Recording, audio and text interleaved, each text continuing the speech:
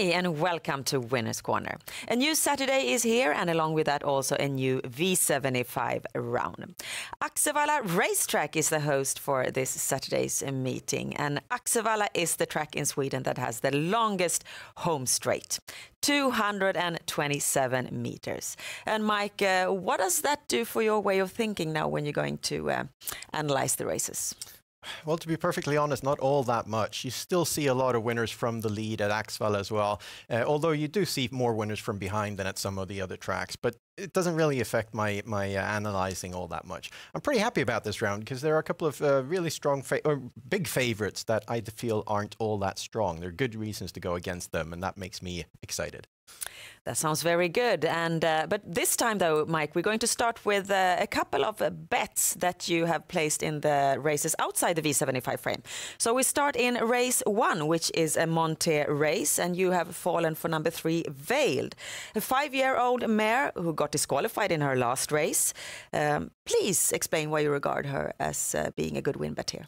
Well, I don't usually bet on the Monte, but this one really caught my eye here. Veiled is by far the best horse in this race and has an excellent proposition here. Second to last time, the horse was out against some pretty tough competitors and finished quite nicely on the inside there on the open stretch.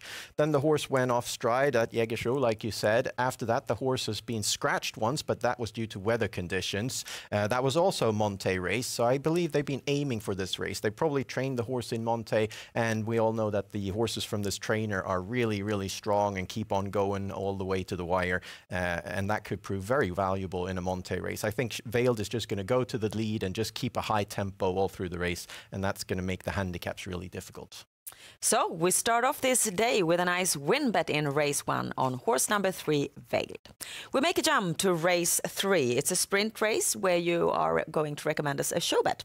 Yes, a show bet mainly, maybe a little bit to win as well. I don't think this horse is without uh, possibility to win this race. Number two, Jullan Palema.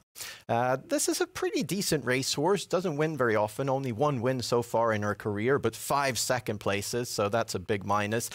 Same last time, the horse was in the lead over the final stretch there, but didn't really show the determination to stay first all the way to the wire. Got beat the last 50 meters. Now, I think it's a big plus this is a sprint race. The horse is really fast behind the gate, very likely to take the lead here. And over the sprint, I think that uh, she can get away from them. She won't need all that determination. As long as Mike Anderson just steps on the gas a bit early through the last turn and has a few lengths advantage as they reach the final stretch, I think uh, the horse could stay first all the way to the wire. But show is the way to go when, the, when, when you have a horse that has one win and five second places. So number two, Jullan Palema, a show bet here in race three. We jump all the way now to race eight. Um, it equals the fourth leg in the V75 round. It's a big field, 14 horses now when uh, number eight, uh, Mr. Crazed, has been scratched. And uh, you think that you've figured this race out, Mike? Well, I hope so. At least I've got a winner that I just have to go for. It's one of my favorite horses. Island Life has been racing for Peter Norman for several years. Uh, three years ago, the horse had a really nice career. He was on his way up. I was thinking he was aiming for the gold division when he won this V75 race with Eric Adielsson in the bike in great style. He started off from the 11 hole there, just cleared around the field the last 500 meters. And uh, some of those horses he beat there really went, had a great career after that. So he, he looked like he was on his way to become a real star. Uh, after that, he hasn't really convinced. He's had a few years that's been slumping a bit, but now they moved the horse to Robert Bergh, and he makes his first appearance now for Robert Bergh, and that is really hopeful for me. I think that people have forgotten how good this horse is. I know Robert Bergh is happy with the way the horse is training, and since he debuts him on the V75, he's got to be uh, a, a, great a great bet. Very well then. Number 14 Island Life is a win bet in race 8. The daily double we have in races 10 and 11 and uh, DD1 is a bronze division race over the long distance 3140 meters.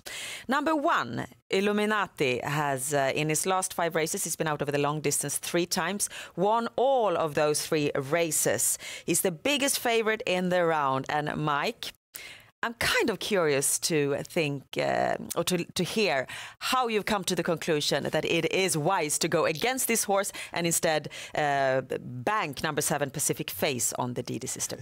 Well, first off, he's the biggest favorite of the round. He's way too much of a favorite. He is a fantastic horse, phenomenal horse, especially over long distance. But he's got the worst post possible for him because he's not fast enough to keep the lead here, and that makes him a little bit vulnerable. Of course, over 3,000 meters, he's very likely to, to be able to move off the rail, so he'll, he'll get his chances. But betting wise, Pacific Face is much more interesting. He is an incredibly strong horse. Remember a second to last time when he was on his way to win to win the V75 final there against some top-notch horses uh, when he broke stride over the final stretch. This horse gallops a lot. He's he's difficult to keep trotting. He he he's not the best. He doesn't have the best technique uh, of all the horses, but he is strong like an ox, and he just keeps on going. And over this long distance here, the way the percentages look, I think we're going to get great odds on Pacific Face. He's going to be way overlooked, and Illuminati is going to draw everyone's attention. Okay then, Mike. DD2, we can uh, see that you also here go against the favorite, uh, that is number nine, Vlad Del Ronco, and instead chooses an outsider in number two, Chapuis. Please tell us why. Well, first off, I, I don't buy that Vlad Del Ronco is such a big favorite. It's, it's the Bjorn Goop effect. Everybody, when Bjorn Goop drives a horse for the first time, everybody just goes for it. They don't analyze what kind of a horse it is. Uh, Chapuis, very likely to take the lead here. Jeppson driving, uh, great performance last time at Solvalla. Uh, this horse just keeps keeps on impressing and improving. Trained by Lindblom with a good driver, I think Chapuis has a great chance to win it from the from the lead here. Vlad Del Ronco starting off in the second row, that's always difficult. And this means that we have one single combination for the daily double this Saturday. Time now to go through the V75 round. And Axevalla is a nice track betting wise, normally high payouts. And uh, how do you normally perform at Axevalla as a punter? I've been close a few times. I haven't won anything big at Axevalla, but I like the track. It, it's a nice track, and uh, uh, usually Axevalla, I feel, is a bit exceptional that the home trainers are usually very successful there. Um, when the V75 meet travels to Axevalla, the home trainers like Per Hedberg, for instance, they always have their horses well prepared. Okay, then let's take a look at what your uh, what your system looks like, and uh, we can see here that you have uh, three bankers, and we've talked about two of them. That is number 14 Island Life in the fourth leg, and number two Chapuis in the last leg. So, what do you want to say about your third banker, number four Vesterbo Exact in the fifth leg? Well, it's a bit of a gamble as usual, but it's a three horse race. I feel that horses one, three, and four stand out, and uh, the one that takes the lead will have a good, uh, good chance.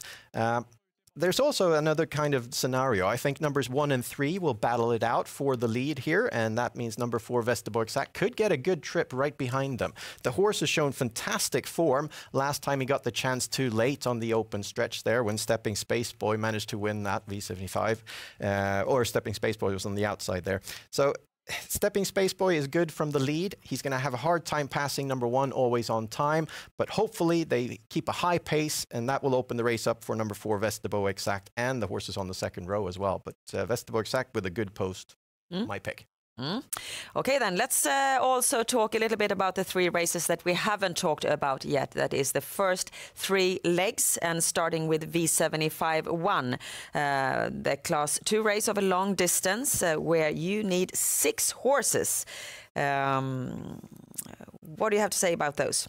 Well, this is the most even field on the V75 this Saturday. It's a long distance race for the lowest category on the V75. That usually means upsets. So uh, it could be a good idea to mark all the horses in this race, to be honest. But uh, Carlos Ken is my first pick. Okay, then V75 2 is a race uh, for mares over um, full distance, 15 of them. And uh, we can see also here that you use six marks. Uh, again, a pretty open race. Uh, the ones up front will, of course, have a, an advantage. It's always difficult to have a 20 meter handicap. So uh, numbers one and uh, six are the front likely front runners. One of those two. Uh, I believe number six may come out as a favorite when everything's done here. But the outsider to look out for is number 11, Sahara Sun. This time driven by Torben Janssen. I think that's interesting on a horse that's in good form. Mm. And then finally, V75-3 is the gold division, and we get to see a couple of really nice horses here. Number three, On Track Piraten, and horse number 10, Nimbus CD. And you mark those two plus three more horses. What do you expect out of this race? Well, I, I think it's a very even race for once on, in the winter on the V75 in the gold division. Uh, I'm looking forward to seeing number 11, Platon Face, once again over long distance here. There are a couple of horses that are very overlooked, curiously overlooked in the early bets. Number seven, Timon Eck, who's on his way up now. Uh, a few races now, three races for uh, Jerry Riordan and improving with every race. That's a superstar. Uh, would have liked the sprint distance instead, though. But number four, Elliot Koger is the most interesting one. The way that horse finished last time, he was just flying and uh, showed fantastic form and completely overlooked. I don't know why. This sounds great, Mike. Uh, promising V75 system there from Mike. 900 combinations is what it all adds up to. Mike, thank you very much. And uh, thank you for watching. And of course, you find much more information at our website, SwedishHorseRacing.com. And with that, we wish you the best of luck now with your bets this Saturday to Axevalla Racetrack. Bye bye.